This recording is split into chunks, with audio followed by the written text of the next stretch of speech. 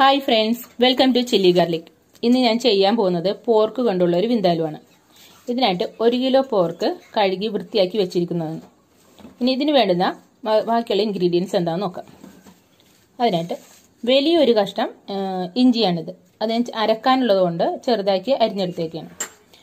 പിന്നെ ഉള്ളത് എട്ട് പച്ചമുളക് ഒരു പതിനഞ്ച് ഉള്ളി ചെറിയ ഉള്ളി പതിനഞ്ച് പിന്നെ വലിയൊരു ബോൾ വെളുത്തുള്ളി. ചെറുത ചെറിയ ബോളാണെങ്കിൽ രണ്ടെണ്ണം. അതല്ലെങ്കിൽ വലിയ ബോളാണെങ്കിൽ ഒരെണ്ണം. പിന്നെ ഇത്രയും മുരിങ്ങയുടെ തൊലി. ഈ മുരിങ്ങയുടെ തൊലി കടുക് ഇതൊക്കെയാണ് ഇതിന്റെ മെയിനായിട്ട് വേണ്ടത്. അപ്പോൾ മുരിങ്ങയുടെ തൊലി ഇത്രയും പീസ് പിന്നെ വേണ്ടത് കുരുമുളക്. കുരുമുളക് ഞാൻ എടുത്തേക്കുന്നത് ഈ സ്പൂണിന് രണ്ടര സ്പൂൺ കുരുമുളക് കഴുകി വെച്ചേക്കുന്നതാണിത്. രണ്ടര സ്പൂൺ. പിന്നെ വേണ്ടത് കടുക്.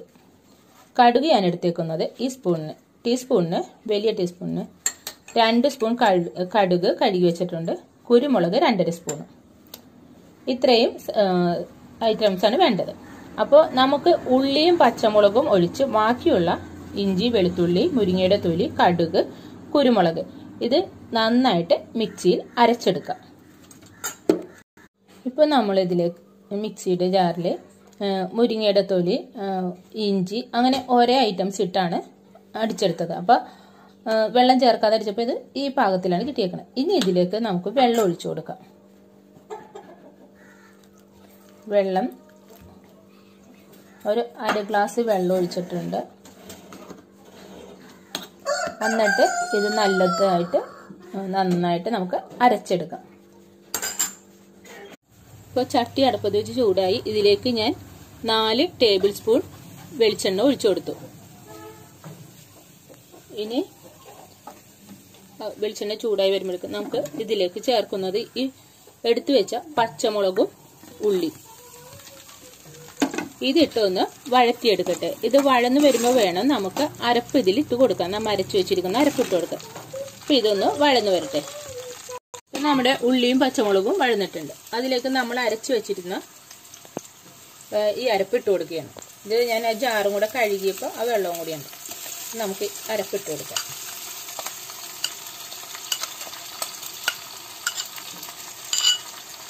ഇനി ഇത് വഴറ്റിയെടുക്കാം. ഇത് വഴന്ന് വരുമ്പോൾ വന്നിട്ടാണ് ബാക്കിയുള്ളത് ഇൻഗ്രീഡിയൻസ് നമുക്ക് ചേർക്കേണ്ടത്. ഇത് വഴന്ന് വരട്ടെ. ഇപ്പം നമ്മുടെ അരപ്പ് വഴന്നിട്ടുണ്ട്. അപ്പോൾ നമുക്ക് ഇതിലേക്ക് ഇനി ചേർത്ത് കൊടുക്കുന്നത് ഒരു കാൽ ടീസ്പൂൺ മഞ്ഞൾപ്പൊടി. മഞ്ഞൾപ്പൊടി കൂടി ഇട്ടിട്ട് ഒന്ന് വഴറ്റിയെടുക്കുക. അതിനുശേഷം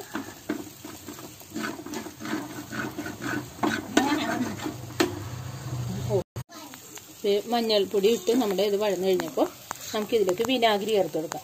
അത് ഞാൻ വിനാഗിരി ചേർക്കുന്നത് രണ്ട് ടേബിൾ സ്പൂൺ വിനാഗിരിയാണ് ചേർക്കുന്നത്.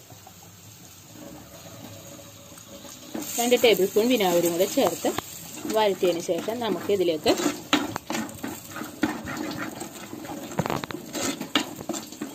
നമ്മൾ ഉപ്പിട്ട് കൊടുത്തിട്ടില്ല. അപ്പോൾ ഉപ്പിട്ട് കൊടുക്കണം. ഇതിനായിട്ട് ഞാൻ ഒരു ടീസ്പൂൺ ഉപ്പിട്ട് കൊടുത്തിട്ടുണ്ട്. ഇനി പോരെങ്കിൽ നമുക്ക് നോക്കിയതിന് ശേഷം ഇട്ട് കൊടുത്താൽ മതി. ഇപ്പൊ നമുക്ക് ഒരു സ്പൂൺ ഒരു ടീസ്പൂൺ ഉപ്പിട്ട് കൊടുക്കാം. അപ്പൊ അത് ഇട്ട് നമ്മൾ ഇത് വഴറ്റിയിട്ട് ഇനി ഇതിലേക്ക് വെള്ളം ചേർത്ത് കൊടുക്കണം. അപ്പം അതിനായിട്ട് ഞാൻ അര ലിറ്റർ വെള്ളം അര ലിറ്ററാണ് ഞാൻ ഇതിൽ ഒഴിച്ചു കൊടുക്കുന്നത്. ഇനി ഇത് തിളച്ച് വരുമ്പോൾ നമുക്ക് പോർക്ക് വൃത്തിയാക്കി വെച്ചിരിക്കുന്ന. പോർക്ക് ഇട്ട് കൊടുക്കാം. ഇതിന് നല്ലതായിട്ട് തിളക്കട്ടെ. ഇപ്പം നമ്മുടെ അരപ്പൊക്കെ തിളച്ചു. ഇനി ഇതിലേക്ക് നമുക്ക് വൃത്തിയാക്കി വെച്ച ഈ പോർക്ക് ഇട്ട് കൊടുക്കാം. അപ്പം അത് ഇട്ടതിന് ശേഷം തിളച്ച് കഴിയുമ്പോൾ ഇളക്കിയൊക്കെ കൊടുത്തിട്ട് തിളച്ച് കഴിയുമ്പോൾ നമുക്കിത് തീ കുറച്ചിടണം. കാരണം ഇത് മൺചട്ടിയിലാണല്ലോ നമ്മൾ വെക്കുന്നത്. അതുകൊണ്ട് തന്നെ നമുക്കിത് ഇളക്കി നല്ല തളവൊക്കെ വന്നു കഴിയുമ്പോൾ ഒരു അഞ്ച് മിനിറ്റ് ഒക്കെ അതിന് ശേഷം ശ്രദ്ധിക്കേണ്ടത് നമുക്ക് ഈ മൺചട്ടിയിലാവുമ്പോൾ ഇങ്ങനെ അടുക്കി പിടിക്കും. ചട്ടിയിൽ അടി പിടിച്ച് പുകച്ച് പുകഞ്ഞൊക്കെ പോയാൽ നമ്മുടെ കറി ചീത്തയിപ്പോൾ അതുകൊണ്ട് ഇടയ്ക്ക് നോക്കുകയും ചെയ്യണം. ഇതിങ്ങനെ കിടന്ന് വേകട്ടെ അപ്പം നല്ല തള വന്നു കഴിയുമ്പോൾ നമുക്ക് തീ കുറച്ചിടാം.